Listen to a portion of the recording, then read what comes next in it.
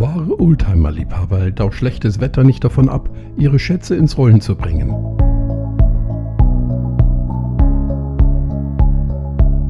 Der beste Beweis dafür waren die Motorworld Oldtimer Tage Fürstenfeld, die jedes Jahr rund 10.000 Besucher auf das historische Gelände des Kloster Fürstenfeld locken und diesmal am Wochenende vom 16. bis 17. September zum 13. Mal stattfanden.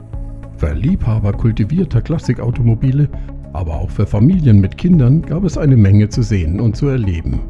Allen voran die fast 1000 Oldtimer, klassische Motorräder und Sportwagen, die vorfuhren, sowie 150 Aussteller.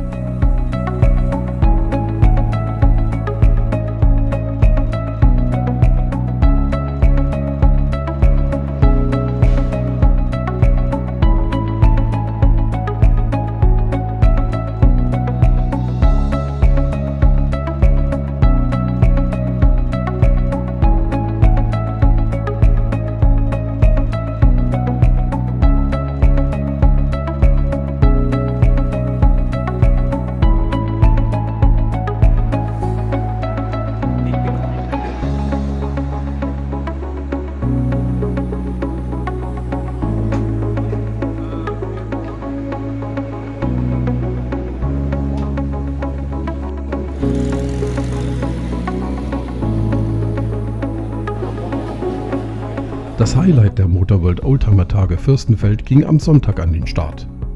In verschiedenen Kategorien, unter anderem Classic, 70 Jahre Ferrari, Werbeautos und Little Italy, stellten sich allesamt sehenswerte, manche besonders rare klassische Fahrzeuge dem Concours d'Elegance. Eine charmante Besonderheit des Konkurs diesmal, eine eigene ausgelobte Kinderjury durfte nach eigenen Kriterien den Children's Choice Award vergeben und bewies nicht nur Geschmack, sondern auch durchaus Sinn für das Besondere. Den von den Kids vergebenen Preis gewann ein 1949er Lagonda Drophead Cabriolet. Keine Frage, alle am Konkurs teilnehmenden Fahrzeuge waren mehr als sehenswert und ließen die Herzen von Kennern, Liebhabern sowie Fahrzeugbegeisterten gleichermaßen höher schlagen. So auch der Fiat 1506c Stabilimenti Farina von 1949, bei dessen Anblick unmittelbar ein Gefühl von Dolce Vita aufkam.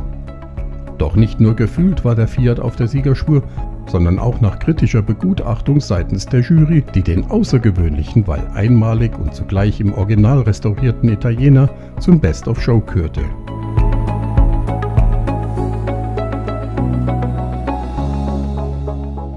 Am Samstagvormittag war der P4 Club mit einigen PS-Boliden zu Gast vor dem Kloster.